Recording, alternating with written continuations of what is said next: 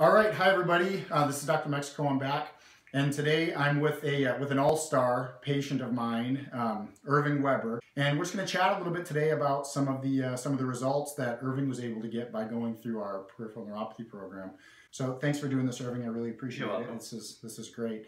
Um, so, Irving, tell the people a little bit about why you came to the office in the first place. What was bothering you? My feet have been bothering me for a long time, probably like between 12, 15 years. And we seen a thing to come here to talk to him about my, you know, all the pain and stuff. I was taking all kinds of meds. We came here, thought, okay, let's do it, see if it works. We tried everything else, and it was wonderful. Great. I have no more pain in my feet. So, to give you guys a formal recap, um, Irving was suffering from peripheral neuropathy, diabetic neuropathy, because he, he was, and I'm going to use the word was, he was diabetic um, prior to coming here. Um, so, he was suffering from diabetic neuropathy for 15 years. He was taking 30 or 35 units of insulin. What was it? 35 units. 35 units of insulin, um, 1,200 milligrams of gabapentin. Yep. Correct? 1,200 Yep. milligrams of gabapentin.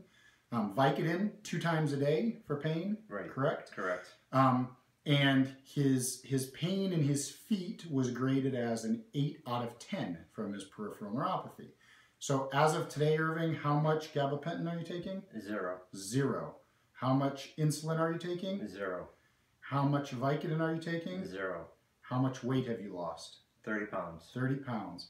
And his initial A1C that was taken prior to starting the program was what? 8.8.4 8.4? 8.4 A1C, and And- 6.8. and his A1C is down to 6.8. And that 6.8 is likely to continue to drop because that only accounts for two months of being involved in the program. So, Irving, if, if you could say anything to anybody maybe sitting at home considering um, doing the neuropathy program, what, what would you tell them? I was one of those people that never thought anything would work. We came, we tried it out, and it worked wonders. If it's something you you question about doing, you should do it. No, you know, no matter what, and see how it works out for you.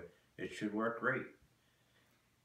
Irving, I, th- I thank you very much. I can't thank you enough for you know giving me this plug. Um, it's one thing for me to tell people that this program works, obviously, because I'm the one who's offering the program for them.